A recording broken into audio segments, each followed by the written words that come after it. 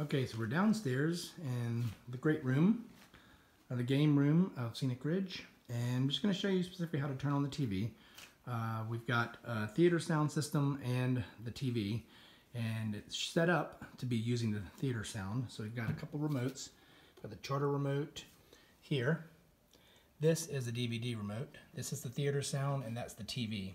So you may need any four of those. But just to simply turn on the TV, I'm going to show you. Take this, you can press the all on button. And when you do, saw the cable blue light come on and the TV is going to come on here.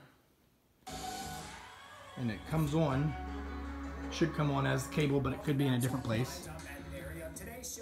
And then we're going to come down here and pick up this TV sound right here, or the theater sound. So you pick it up. You've got your volume up and down.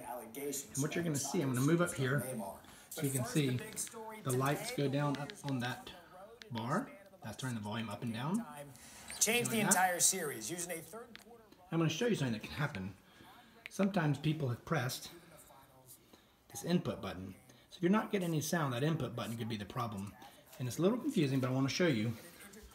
Right now, when I press the input button, you're gonna I'm gonna turn up the sound so you hear it go away. First two quarters, but Warriors coach I'm gonna press it once. Said everything. I just changed the input. See how that's now flashing up there? And now we don't have sound. So I'm gonna keep pressing the input button and get the next one to flash. See, it goes by two lights at a time flash. Now it's back at the bottom. The next two going up, the next two going up, and then this next one should be the sound for the TV. See if that's right. With Yeah. home court advantage. Give it a second in their back to come back. Now you've got the sound going. So I just wanted to show you how to do that.